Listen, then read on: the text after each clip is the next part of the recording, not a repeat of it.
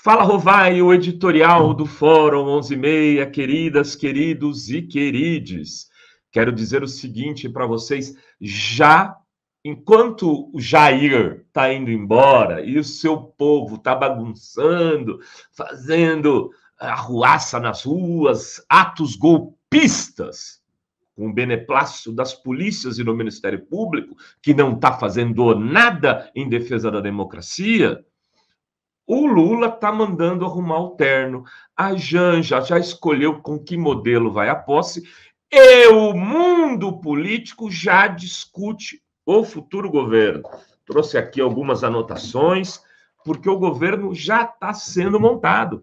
Os partidos se reuniram na hoje, anteontem à noite, hoje é quinta, terça noite, eles se reuniram todos os presidentes de partidos, algumas lideranças importantes, umas 30, 35 pessoas. Houve muito aquele converscote de nós ganhamos, que bom, e agora temos que discutir o futuro, mas ali já começaram as primeiras pinceladas do que deve ser. Nesse encontro, o que foi significativo foi a entrada do Rodrigo Pacheco ao vivo. Ele entrou ao vivo para saudar os vitoriosos. Rodrigo Pacheco, para quem não sabe, senador pelo PSD de Kassab. D de Kassab, perceberam? PSD de Kassab, é, que é também senador por Minas Gerais e próximo ao, ao Calil, enfim.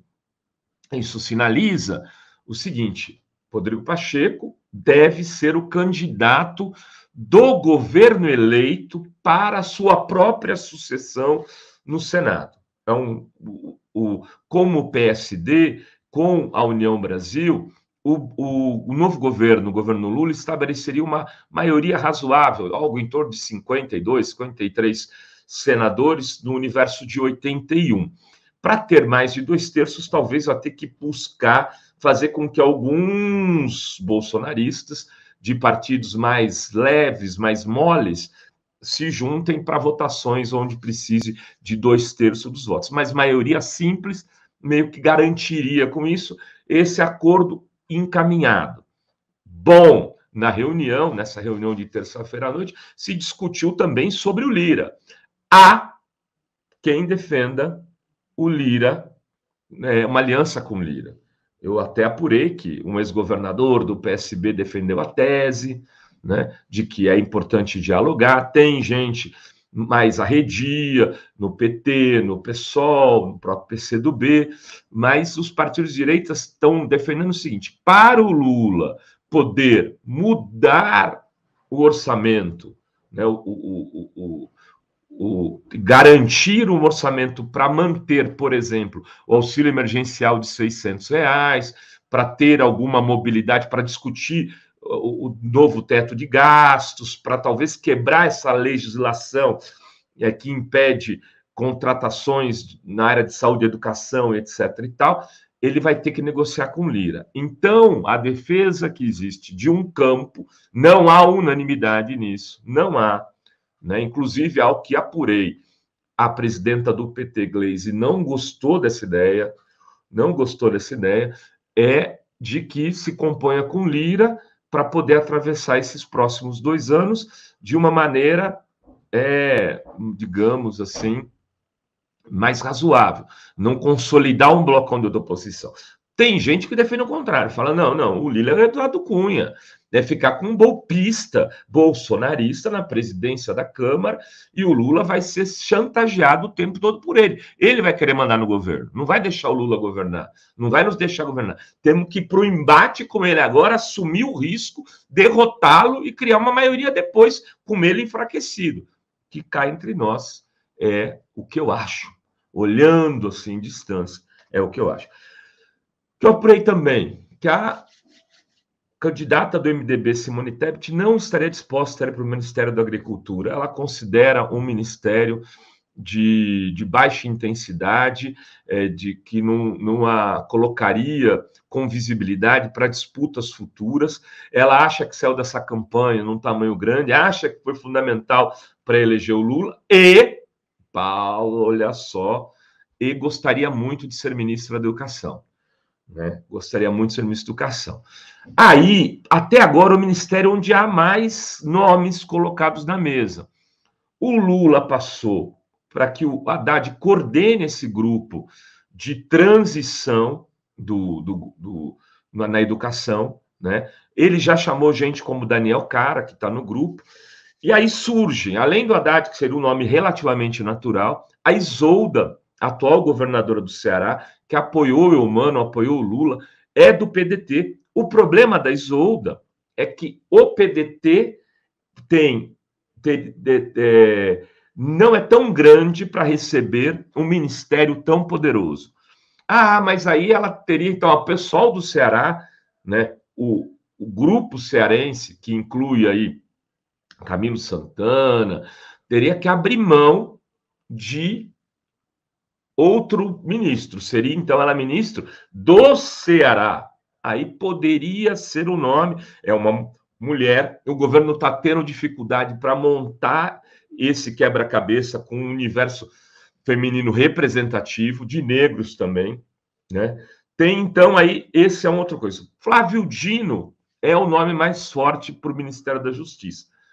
É do PSB, né? Então cumpriria a cota do PSB, a despeito de ser cristão novo, conseguiu no PSB mais força política do que o Freixo, que também é cristão novo. Por quê? Porque elegeu sucessor, mantém um governo importante para o PSB. O Brandão é do PSB hoje, elegeu, o, o, PT tem a vice nesse governo, que é o Maranhão. Então o Flávio está forte, inclusive no PSB.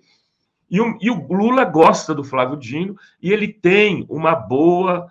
É, ele tem a confiança do, dos advogados do Prerrogativas, de outros grupos da ABMD, da, enfim, ele tem, ele tem um, um, um, um queridismo né, e uma autori, é autoridade e foi firme na defesa do Lula durante os 580 dias. Surge com força.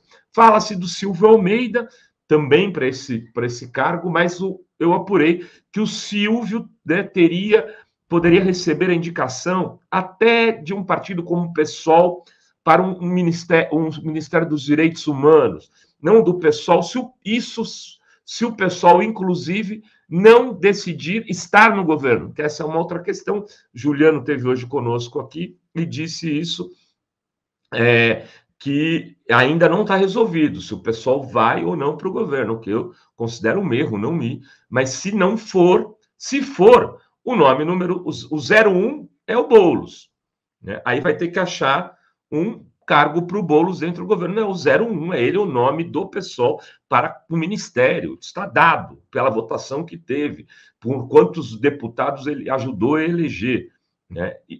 Mas pessoas que são próximas né? O Silvio Almeida foi cotado para serviço do Boulos, por exemplo, se ele fosse governador, candidato ao governo de São Paulo.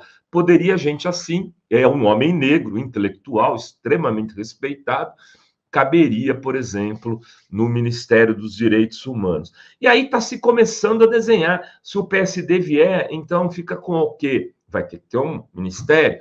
Eles são bocudos, querem seis. O Márcio França já disse: olha, o PSB queria quatro, mas com dois resolve.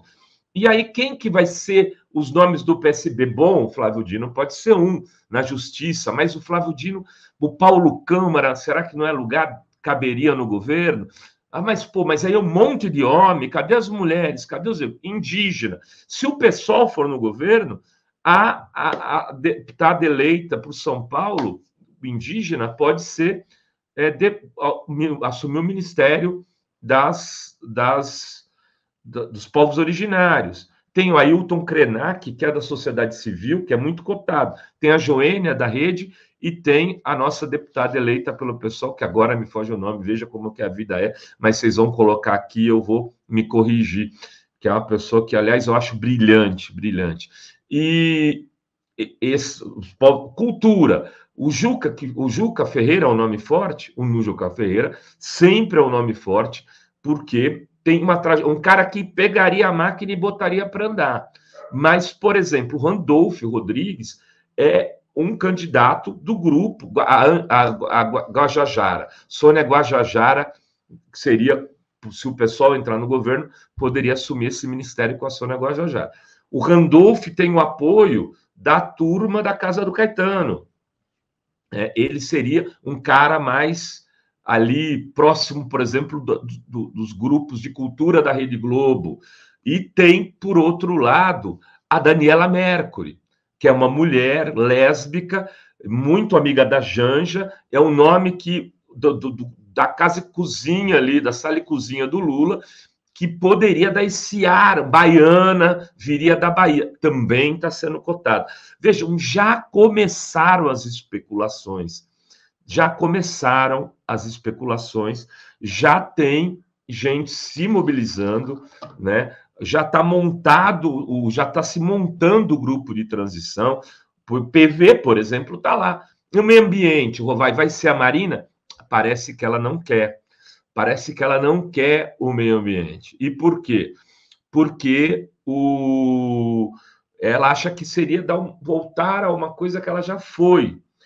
E ela pensa numa autoridade climática. Ela gostaria de assumir um protagonismo no ministério ou alguma coisa semelhante ao ministério, que seria interseccional, uma autoridade do clima. Parece que em alguns países isso já existe que faz intersecção com todos os ministérios, inclusive o do meio ambiente.